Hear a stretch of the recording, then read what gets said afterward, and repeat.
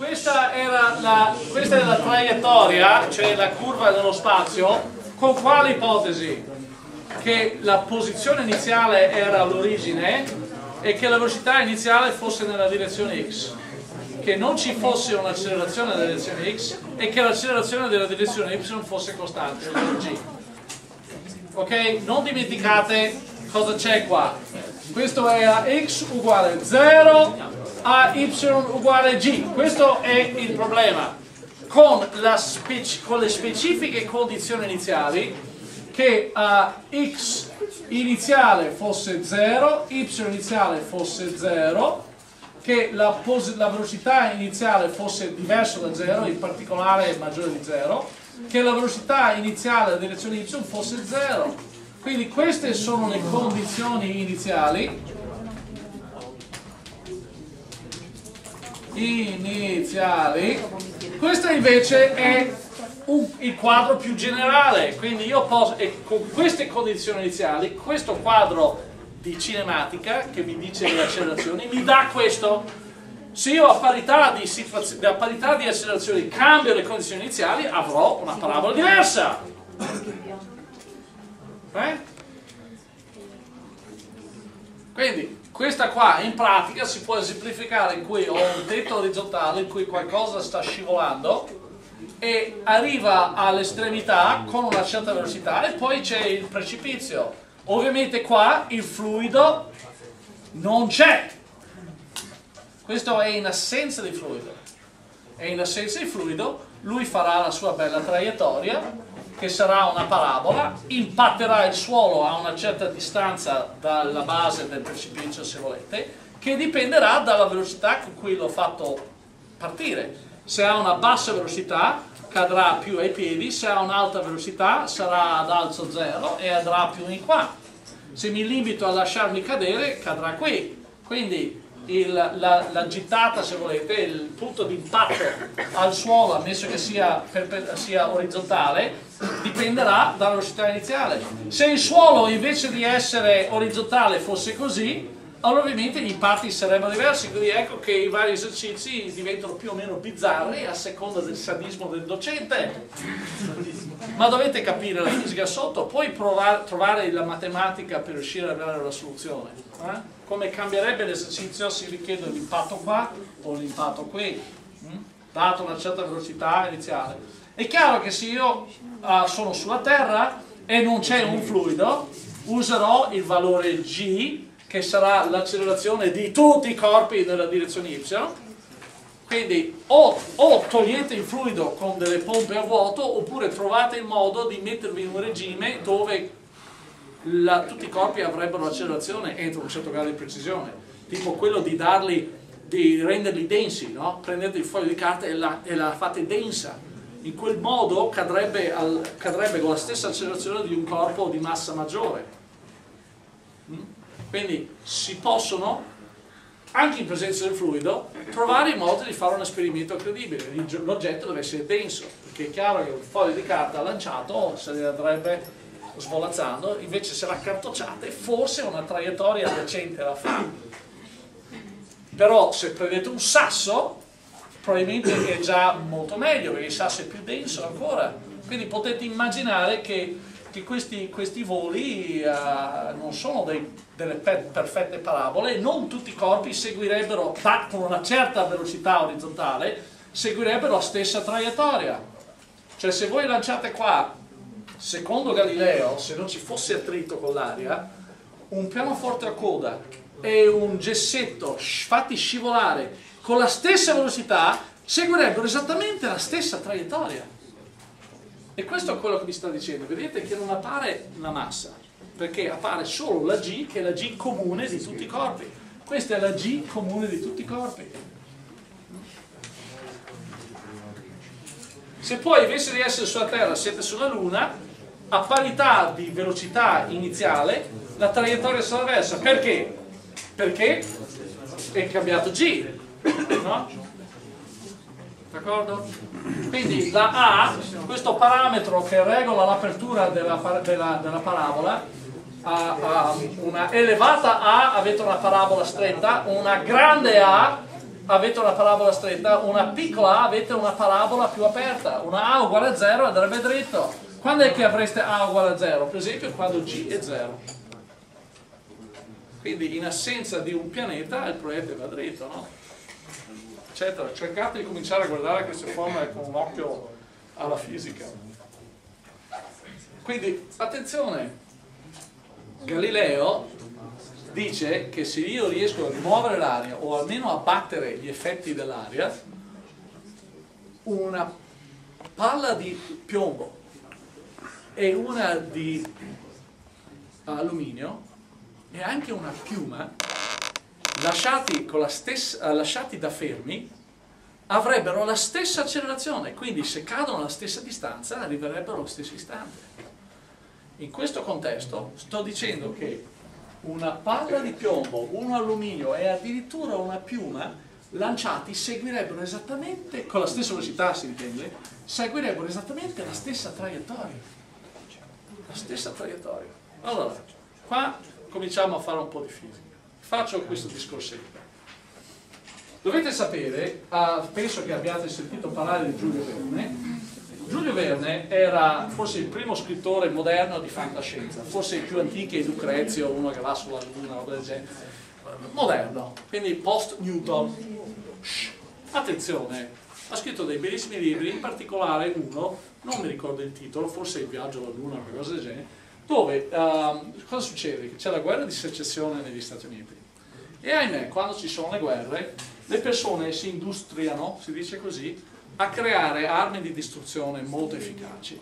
Cosa succede? Che per la guerra di successione ci sono due industriali, uno specializzato nelle polveri da sparo, che sviluppa polveri da sparo sempre più uh, capaci di sviluppare tante energie in poco tempo, quindi molto potenti, potenza e energia nessun tempo, e l'altro è uno che lavora all'acciaio e riesce a fare cannoni quindi un fabbricante di canoni e un fabbricante di, di munizioni, facciamo così.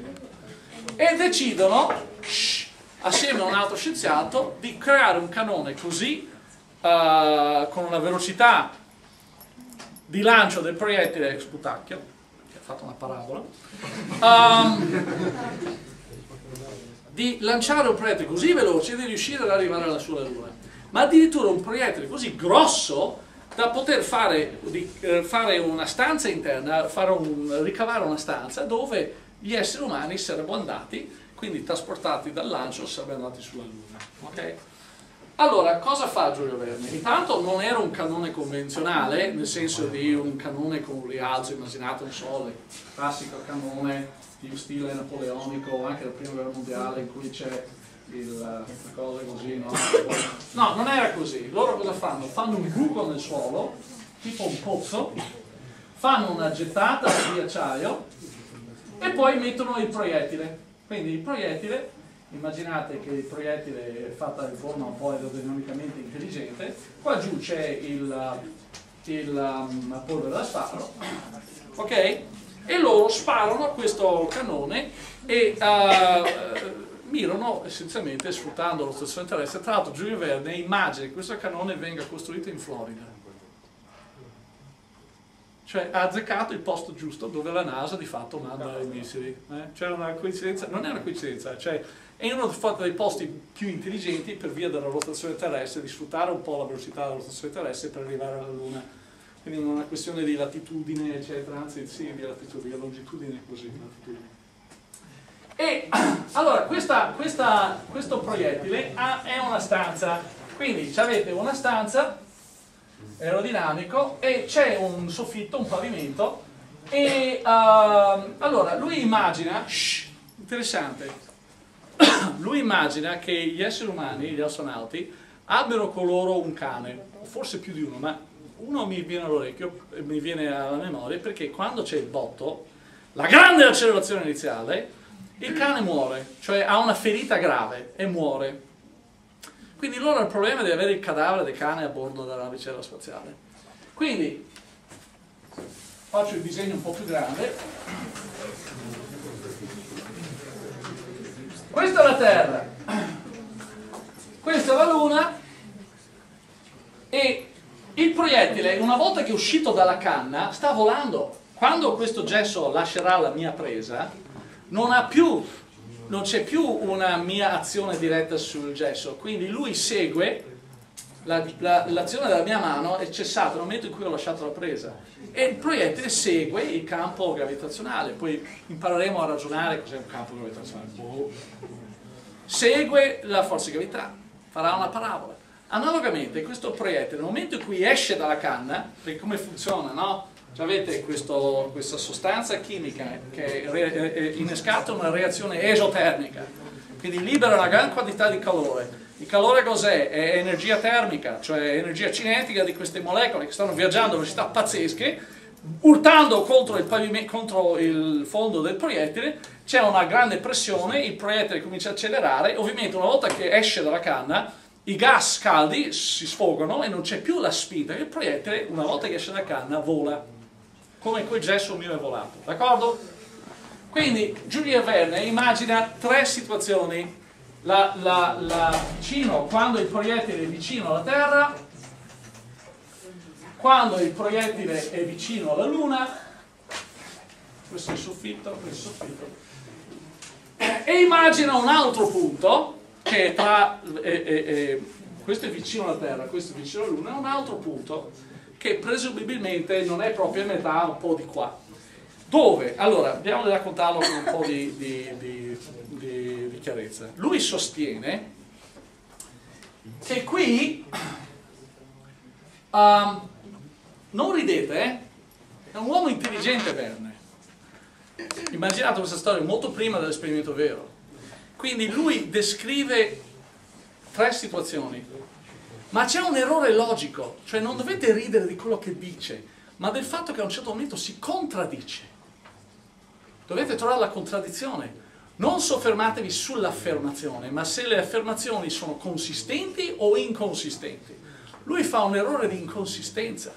E quindi nell'errore, nel fare confusione, uno leggendo dovrebbe dire, ah, eh, non può essere così, poi cosa avviene veramente? Uno deve imparare un po' di fisica fare gli esperimenti. Lui sostiene che finché la navicella era vicina alla Terra, attenzione, non pensate di sapere la risposta, ascoltate. Lui sostiene che finché erano vicini alla, alla Terra, uh, dominava la gravitazione terrestre, quindi le persone qua dentro camminano sul soffitto. Ah, sul soffitto, sto anticipando una camminano sul pavimento. E se qua c'è, anzi disegno una sola persona, se c'è un tavolo, il tavolo è così, se c'è una pianta, perché lui immagina che la navicella, la cabina, siccome è scritto alla fine dell'Ottocento, lui immagina l'architettura, il mobilio, gli, gli, abiti degli astronauti un po' nell'epoca vittoriana, quindi hanno le giacche, i vestiti di quell'epoca, i mobiletti, c'è la bajour, c'è il quadro, la, la, scrivania ha i ritagli dei, dei, dei, dei mobili di quell'epoca. Quando è vicino alla Luna, lui dice, sono vicino alla Luna, domina la forza gravitazionale lunare. E quindi qua riescono a camminare sul soffitto. Quindi la persona è così, il tavolo sarà così, la pianta, eh, non so disegnarla sotto sopra, la pianta è così.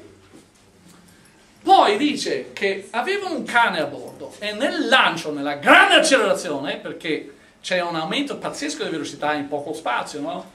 il cannone ha una sua profondità e va da velocità zero a una velocità estremamente elevata, tale da raggiungere la Luna, in poco spazio, quindi c'è una grande accelerazione. Il cane cade, loro, gli adulti erano seduti e il cane non era eh, protetto e si è rotto una gamba e muore Ok? Quindi a un certo momento loro, appena, appena cominciano a volare, devono eliminare il cadavere del cane. E allora aprono una paratia a tenuta stagna e mettono il cane fuori, letteralmente lo appoggiano fuori. Quindi lui sostiene che durante tutto il volo, dall'oblò, riescono a vedere il cadavere del cane che vola assieme a loro. Quindi fuori dall'oblò vedete il povero cane. Non ridete, ascoltate, ragionate. Shh. E lui sostiene che c'è un punto a, a un certo momento dove la forza gravitazionale terrestre e quella lunare si equivalgono. E in quel punto lì, all'interno della cabina, la gente fluttua. Quindi uno sta volando così, il tavolo che so è così e la pianta dei fiori è così tutto fluttua. E anche qui però vede fuori da un blocco il cadavere del cane. Allora, c'è una contraddizione qua, guardi, guardi là, c'è una contraddizione qua. Cosa avviene veramente?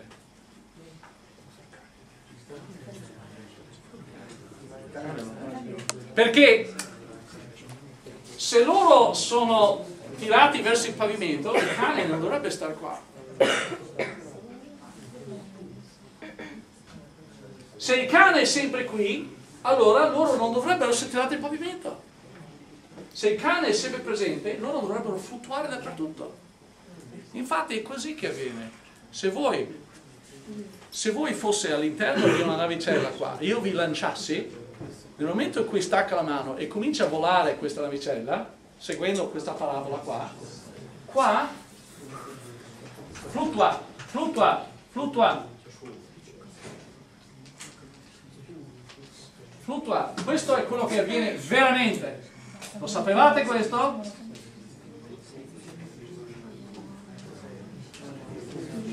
Questa è consistente. Se il cane fluttua, devono fluttuare anche loro.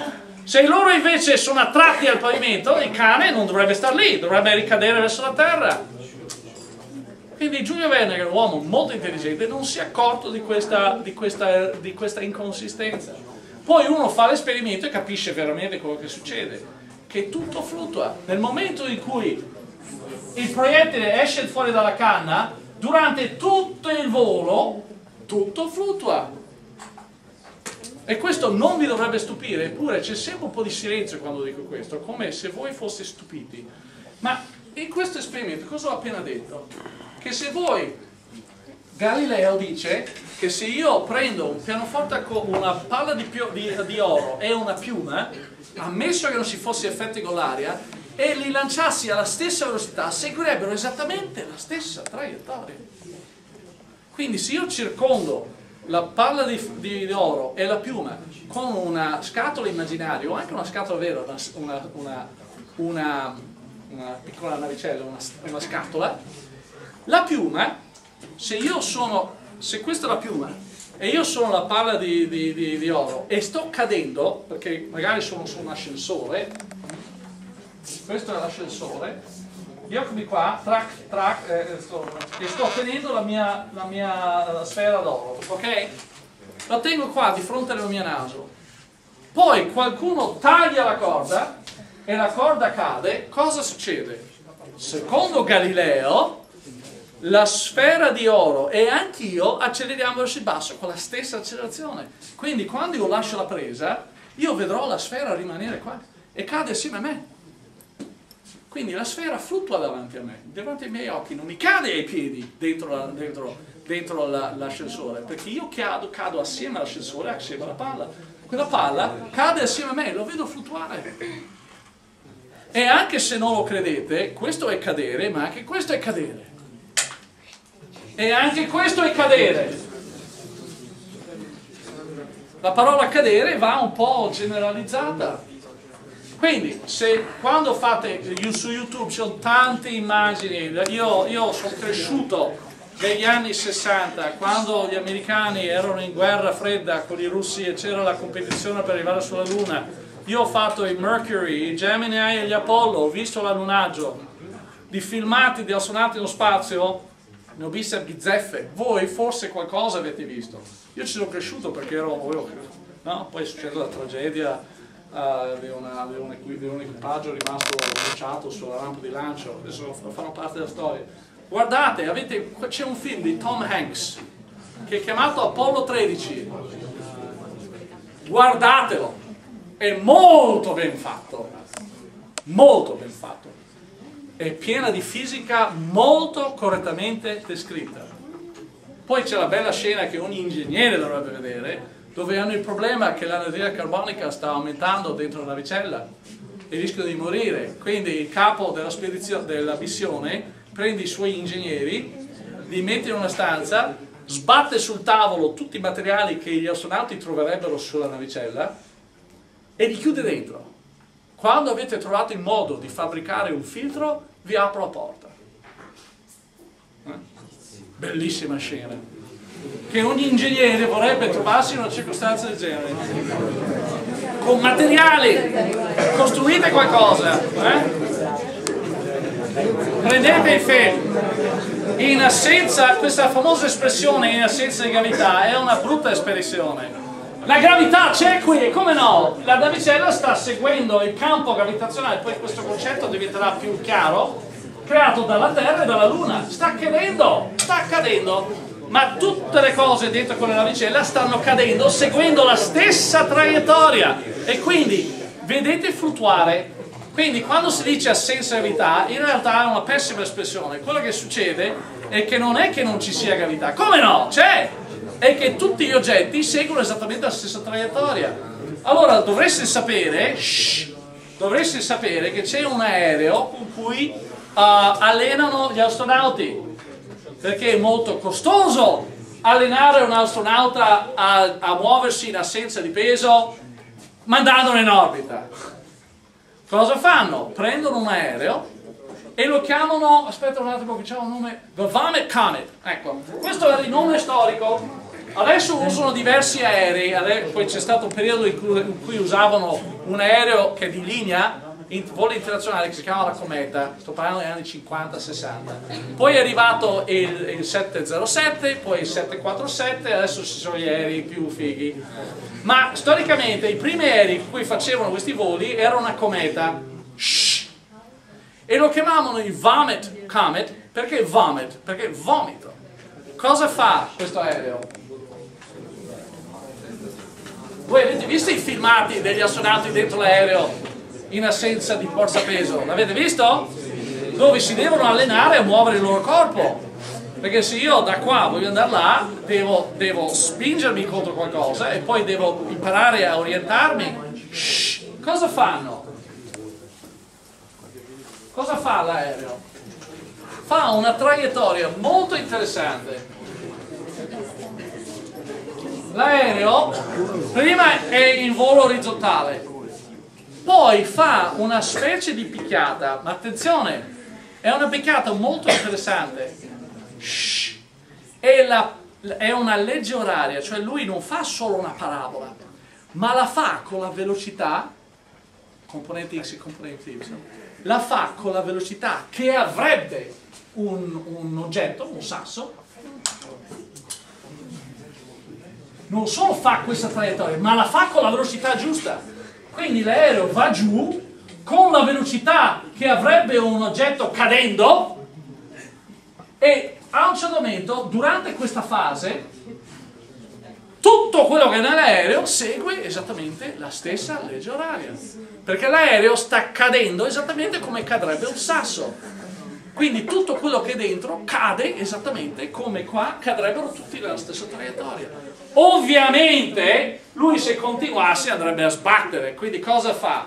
Mandano un segnale acustico, afferratevi a qualcosa, smettete di divertirvi perché è divertente da morire, afferratevi a qualcosa perché deve uscire dalla picchiata. E quindi l'aereo comincia a uscire dalla picchiata e poi ne inizia un'altra Quindi la, picchia, la, la, picchiata non è più solo a scendere, ma anche a salire. Cade! Questa è la cosa che voi dovete imparare. Che questo è una caduta anche nello salire. Sta seguendo la gravità. Quindi l'aereo imposta la legge oraria di un sasso che fa la parabola, anche nella fase ascensionale. E durante tutta questa fase ascensionale qui, fino a qui, fino a qua, da qua, quasi, da qua a qua, gli astronauti stanno volando tutti nella stessa traiettoria che avrebbe un sasso lanciato da qua con la velocità giusta proprio a seguire questa traiettoria. Quindi qua c'è assenza di gravità, qua c'è gravità e come? C'è addirittura più, perché sta facendo, qua devono, sentiranno addirittura una forza Pareto, una forza peso maggiore del loro peso corporeo normale. Qua assenza di peso. Allarme, sto per uscire e l'aereo fa una serie di e durante la parabola sia ascensionale che discesa l'importante è che in quel tratto lì l'aereo stia seguendo la velocità sia in x che in y che avrebbe un sasso tutto quello nell'aereo farebbe esattamente la stessa traiettoria e quindi io all'interno dell'aereo vedo il mio compagno, la mia bottiglietta d'acqua, la goccia d'acqua, la penna stilografica e fanno, fluttuano di fronte a me perché stiamo tutti seguendo la stessa traiettoria. Ok? Quindi andate a casa, guardate su YouTube queste immagini qua e cercate di capire cosa sta succedendo. Sta succedendo questo. Va bene?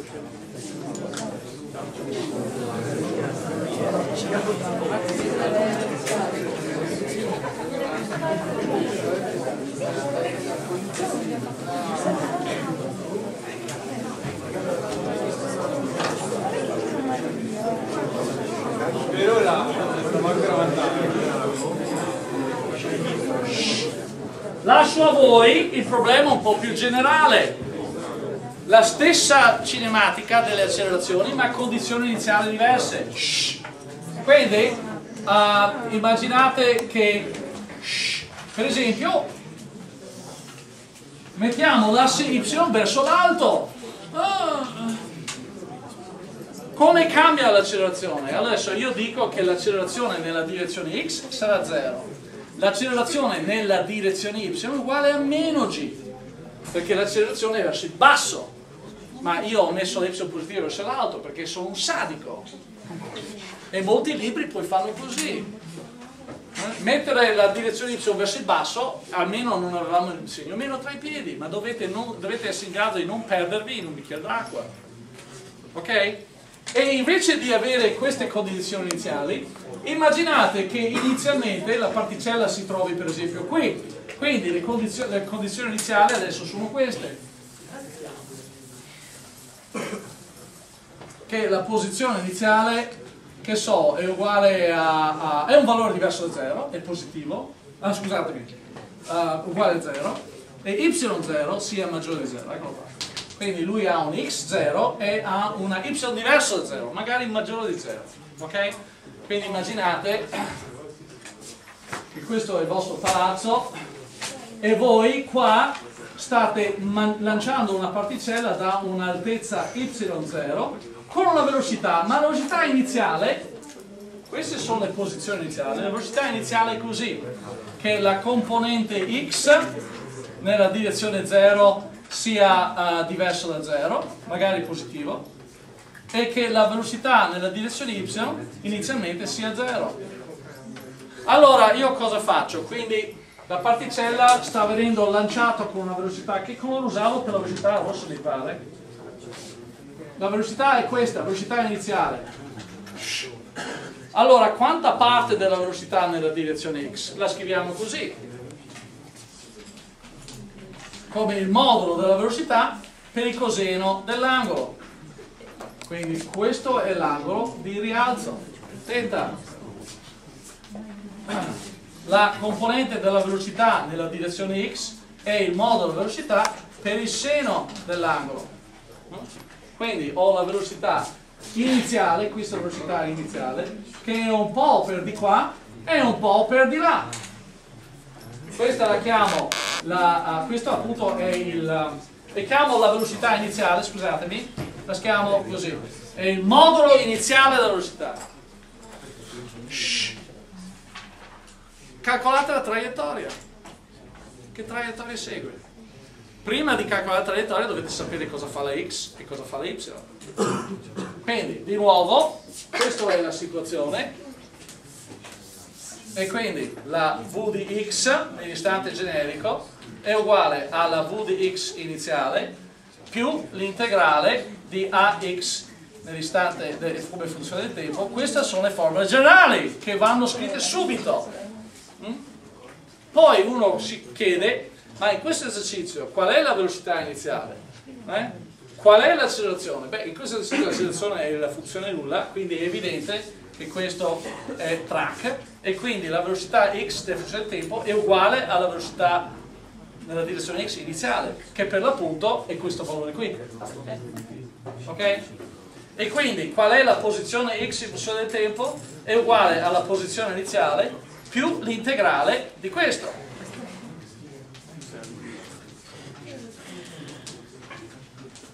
Ok? Ma questo qui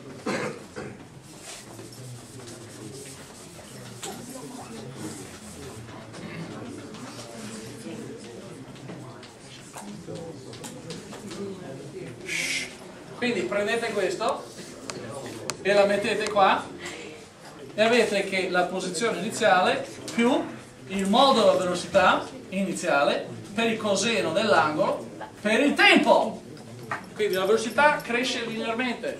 Poi in questo esercizio la x iniziale è 0. Cosa farete? E, e, e, a, a, questo è l'x e la y cos'è? Eh, la y è uguale all'integrale della velocità in x, ma la velocità in x cos'è? Beh, dovete integrare l'accelerazione. Lascio a voi farlo. Quindi sarà una parabola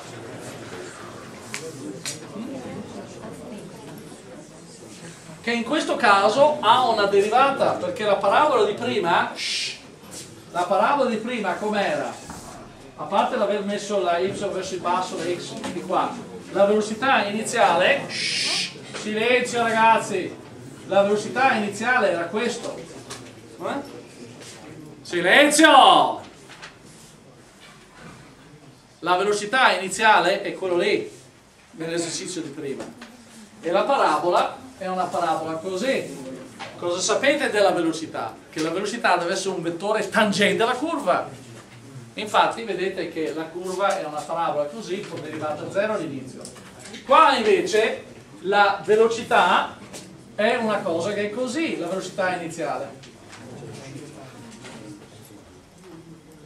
Se la velocità iniziale è per di qua, allora cos'è la velocità? È la, è, è una, la direzione della velocità è un, è un, la velocità è un vettore, la direzione di questo vettore è, una, è tangente alla traiettoria, quindi se la velocità è così, la traiettoria deve essere così, è tangente, ok? Quindi si apre là e farà il volo, calcolatela. Quindi chiedetevi, per esempio, se questa è la vostra y0, qual è il valore di x qual è il valore di x uh, per la quale si avrebbe y uguale a 0. Quindi, se questa è la chiamata di distanza d, cosa ha di speciale d? d è il valore di x tale che, chiamiamolo xt, tale che y per xd è uguale a 0.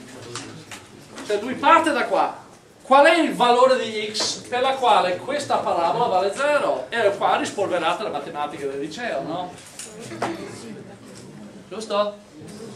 Quindi se voi avete l'equazione di una parabola del liceo, è questa, no? Quella è l'equazione della parabola. Shh. Questa è matematica. Hm? E io, voi, sto, voi state cercando la curva y in funzione di x.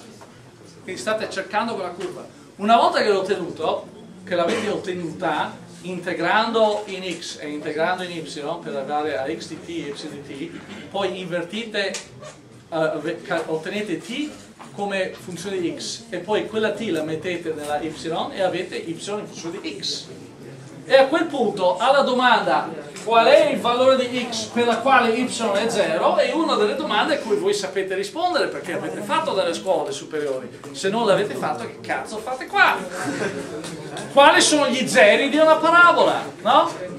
Qual è il valore di x per la quale y è 0? Vedete che questa domanda, qual è la gittata, se per gittata intendo dire qual è la distanza, ecco qua il nemico che sta, sta arrivando, correndo come un matto, Eh, eccolo qua, col, col eh, non so, c'ha una bomba in mano e, e, e qua c'è la porta e lui vuole far saltare la porta. Voi volete colpirlo? Eh? Ok, qual è la gittata? Cosa sarà gittata in questo esercizio? È la distanza, il valore della x per la quale y varrà 0. Sapendo però che y uguale a 0, quando x è uguale a 0 partiva da questo valore. Qual è il valore y0 là? È c, no? Qual è il valore di a in questo esercizio? sarà G, no? Forse un mezzo G. Forse un mezzo G. Ricordate prima questo esercizio? Avevamo questo?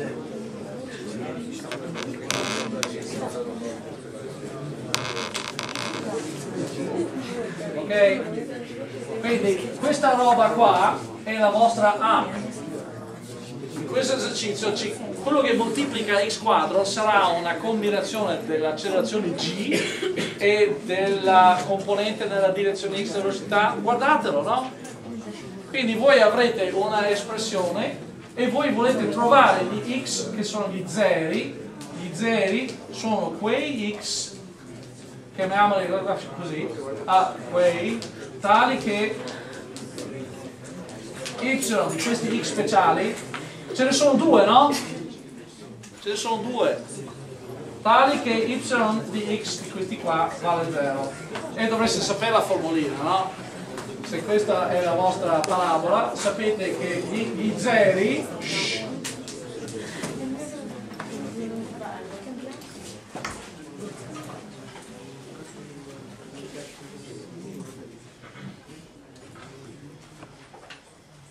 e gli zeri sono meno b più o meno radice di b quadro meno 4ac diviso 2a. Questa è una forma che dovrebbe, far, dovrebbe far parte del vostro repertorio di trucchi.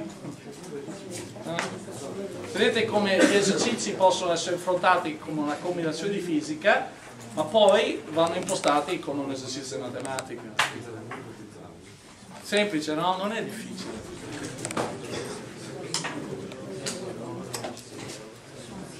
Ovviamente cosa succede se invece di lanciare verso l'alto lancio verso il basso? Eh? Se lancio verso il basso la parabola sarà così. Se lancio in orizzontale sarà così. Se lancio in alto sarà così. Qual è l'angolo a cui riuscirei ad avere il massimo agitato? È ovvio che se passo verso il basso va qua. Eh? Qual è l'angolo a cui avrei la massima agitata? Allora uno deve ottimizzare avrà la, la distanza in funzione dell'angolo e vuole trovare l'angolo che massimizza la distanza. Fa uno studio di funzione, no? Va bene, e anch'io sono stanco che dice chiudiamo bravo.